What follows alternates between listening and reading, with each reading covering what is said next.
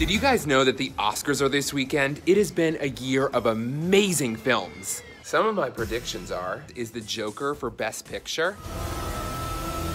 And for actor in a leading role, Leonardo DiCaprio for his performance in Once Upon a Time in Hollywood. It's official, old buddy. Well, has been. Actress in a leading role, Scarlett Johansson in Marriage Story. Then hand him the envelope.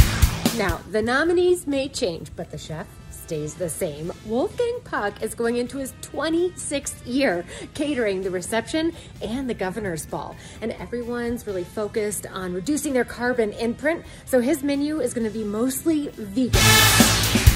And let's find Anna to talk fashion predictions on the red carpet. What what do you think we're going to be seeing? You know who I've been loving is Charlize Theron and Scarlett Johansson this season. Okay, do you think we're going to see gowns? Do you think we're going to see short dresses? What? I hope long with color. Yeah, I do think we're going to see a lot of color on the carpet because look at you today. You're in oh, color. And strong lines, embracing the feminine, but like with a power. Okay, well, stay tuned.